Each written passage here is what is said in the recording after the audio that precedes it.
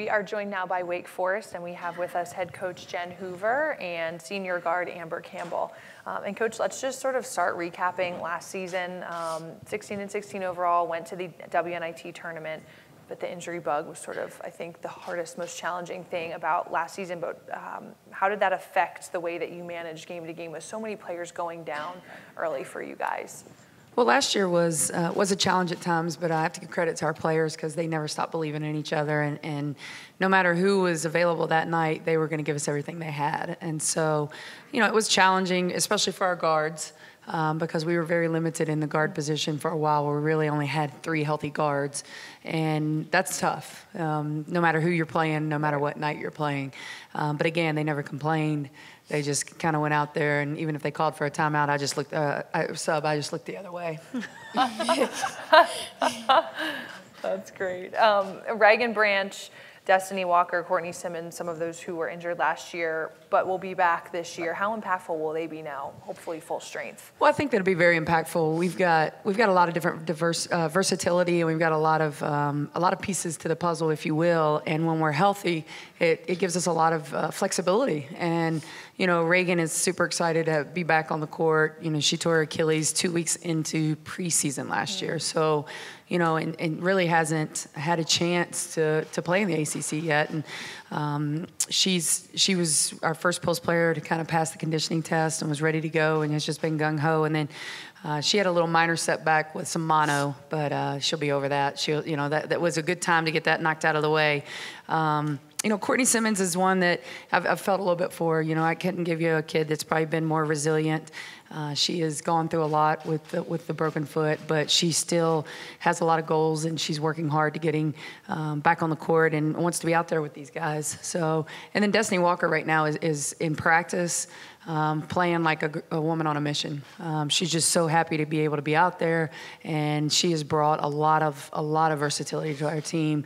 That we kind of, you know, her freshman year we saw it on and off a little bit, um, but she kind of was in and out with the health issues that year, and then um, last year being out all year with surgery. So super excited to have all, all you know all three of those guys back ready to go this year. Yeah, and in addition, you're returning your top three scorers in Elisa Penna, Ariel Stevenson, and Amber Campbell, four of your five starters. Um, how will that kind of give you the ability to build on last year with that veteran group?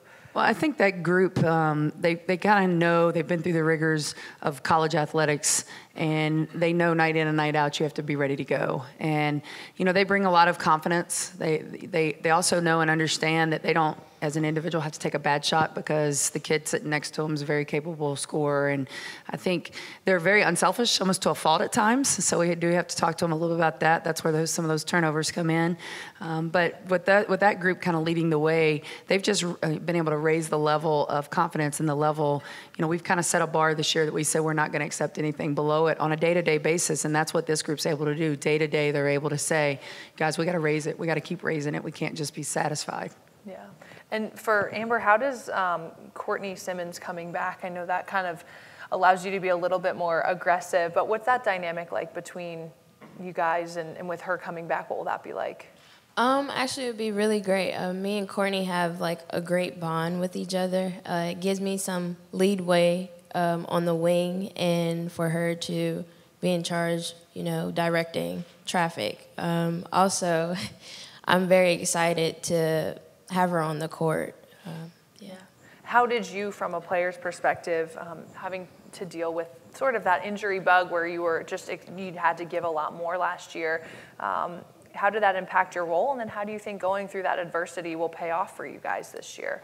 I think it impacted my role a lot. Um, for me, point guard position was not my thing. Um, I felt like I've worked really hard on my game as running the point and directing everyone and also I was more of control. I had the ball in my hand. Um, at being the point guard, even though at the time, like as a freshman, um, I was kind of being thrown at the wolves as a point guard, but I actually learned from my experience to be more confident in myself um, when directing traffic. So. And for you, coach, I mean, when you see a player um, like Amber have to take on those responsibilities, um, out of necessity. How, I mean, how do you think her court vision and awareness, even if she's not playing at the point guard position, impacts the way that she plays in a guard position? Well, I think that's one of the thing, things that's great about Amber. You know, when she came in as a freshman, we did we had to swing her over, and she was kind of like a second and third string point guard for us. So she got a little bit at it, and each year she just got more and more confident at it. And I think it opens up a different vision for you, and and she understands and respects even more so what a point guard, just what it does entail, mm. how much more advanced thinking they have to have, like a quarterback on a on a on a court. And you know, I think now watching her in practice and watching her take our freshman point guard under her arm, Gina Conti from uh, Grove City, Ohio, she's able to talk to her and do things now that I wouldn't have seen a couple years ago because she really had to take that ownership of that last year, and she really did it in a, in a great way for us. Yeah.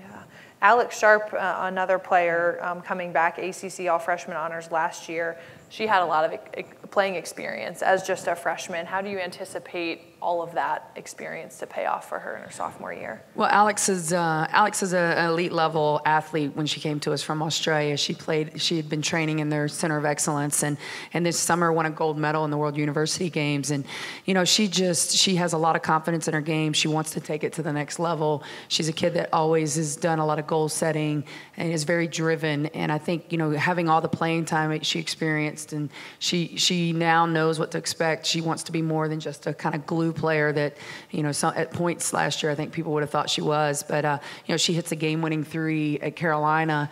And, you know, I think Alex knows that she can do that more often. It, she just has to continue to kind of now as, an, you know, a returning player, um, be more confident in that. Um, you're losing Milan Quinn, uh, who's a leading rebounder last year. Who do you anticipate to kind of fill that role?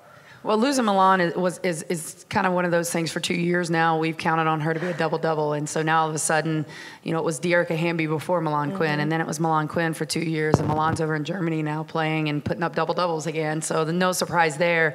You know, I think we've got a core group that's going to do that. I will say that right now in practice, Alex Sharp is doing it. You know, she is on a mission on the boards. She averaged just under seven a game, I think, for us last year.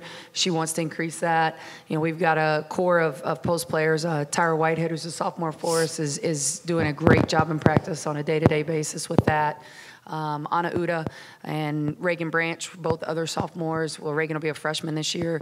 You know, but all six three, six four, they are capable of that. Um, and I will tell you, Lisa Penna knows and wants to be a better rebound for for rebounder for us this year. That's something she talked about at the end of last year, and she's such a offensive threat and spends so much time on the perimeter. It's just a matter of her, you know, remembering that she she has that potential and ability to go to the boards for us. So I think it'll be a collective group that kind of, um, you know, we've been that's what been one of our strong points is rebounding for the last few years as far as in the top of the conference in those categories. And we talk about it daily. It has to be something we continue. And we're going to turn this one loose back on the boards again, which I think she's really excited about. As a point guard, she ended up having to get back a lot, yeah. but now that she'll be able to swing back to the wing and our point guards are back, she'll get it, be able to get back in there. And you know, as a freshman, she averaged almost five rebounds a game. So. Yeah.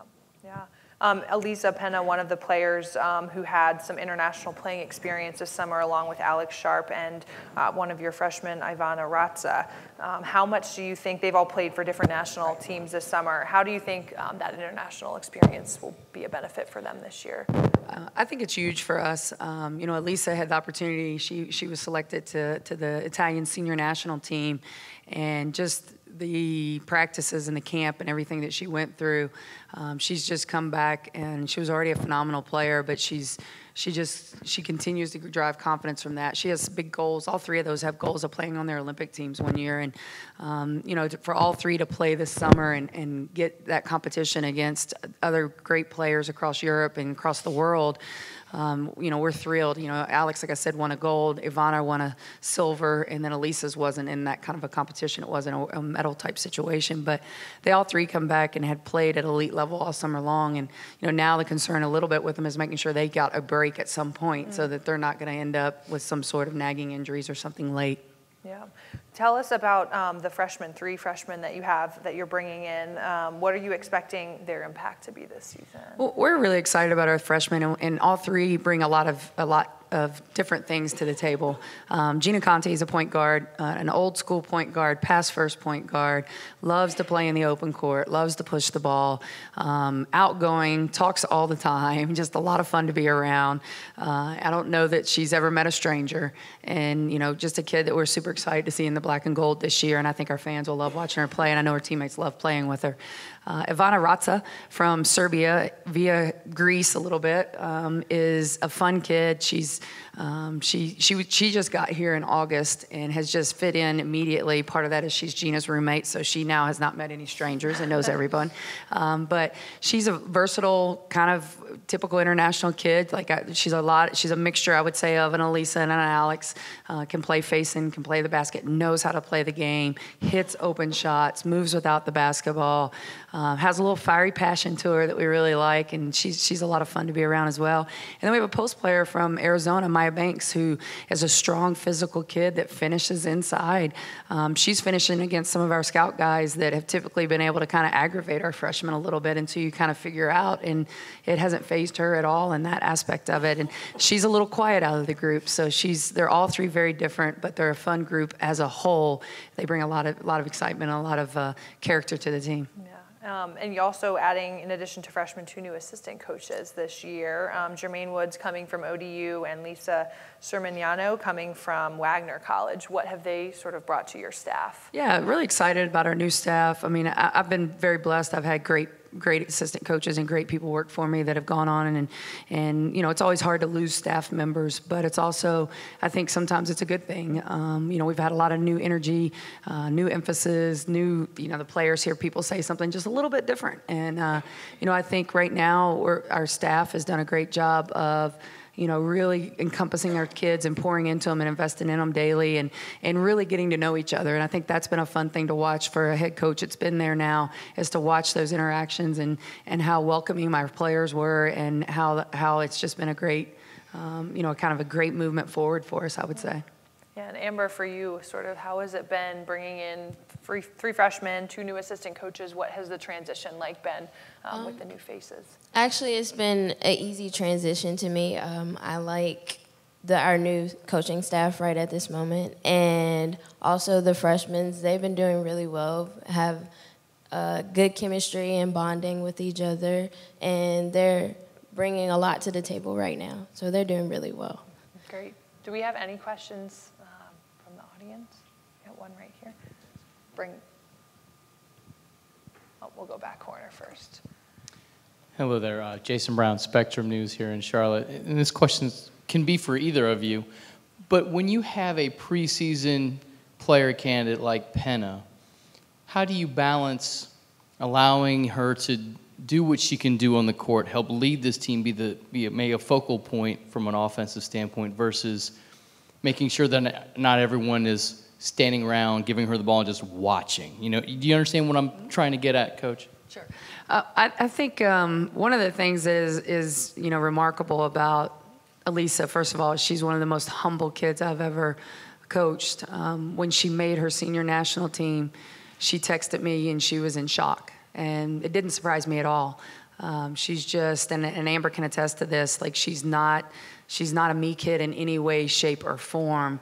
Um, actually, she's one that we have to kind of tell her she's not taking enough shots at times. She's not being selfish enough. But I think the beauty of our team is that we had three three returners that were averaging double digits for between that 10 and 14 points a game, and that each one of our players on our team, any given night, don't really care on their individual stats as long as we come out with the win. Um, and, and, I think on any given night, any of those three and probably a couple more could go for 20. And so our offense is built with a lot of motion into it, to a lot of uh, a lot of equal opportunity, and and they know that. And like I was saying earlier, they know that if I don't have to take a contested a contested shot because if I pass it to my teammate to my left who's open, that's an open shot for a very good player. One more right here. Hi, Steve Phillips, ACC.com for Coach or Amber. Looking at the schedule, it says here you will play 15 games against opponents that were in postseason play last year. Talk about how a veteran squad prepares you to tackle that, but also maybe not resting on your laurels or taking anything for granted as you look at that schedule there.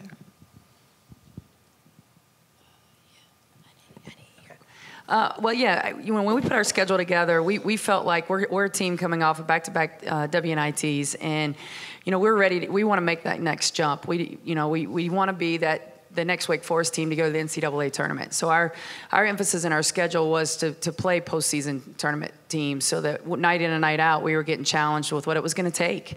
And you know I think as a veteran squad, this team now has been through two NITs. They understand what that is. They understand you know that night in and night out you have to you can't have an off game. You just can't. Like, not in this conference and not in our non-conference schedule. And, and and that's what we purposely did. And and you know amber campbell knows she's got one more shot at it. And so she's able in that locker room to talk about that and to talk about it's about the name on our jersey. We've got to bring what Wake Forest basketball means, and, and we're the only ones that really know what that means to us, and that's different every single year.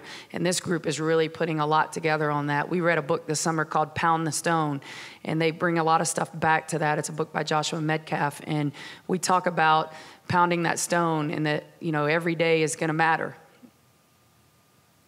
Great. Any other questions? Well, that wraps it up for us. Thank Thank you. you, Coach. Thank you, Amber.